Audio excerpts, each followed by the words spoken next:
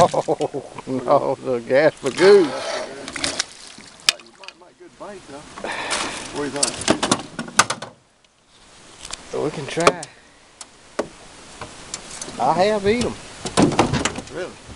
Yeah. Yeah. This is some kind of isn't Mmm. That's something.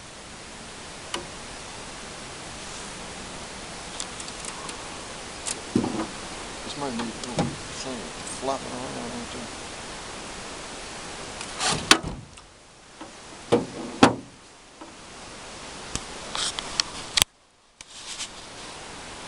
there. Gaspergou.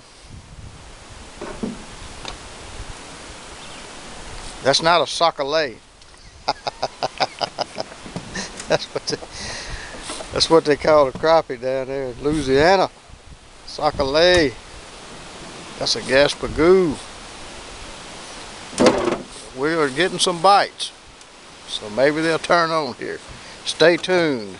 FullTimeOutdoors.com.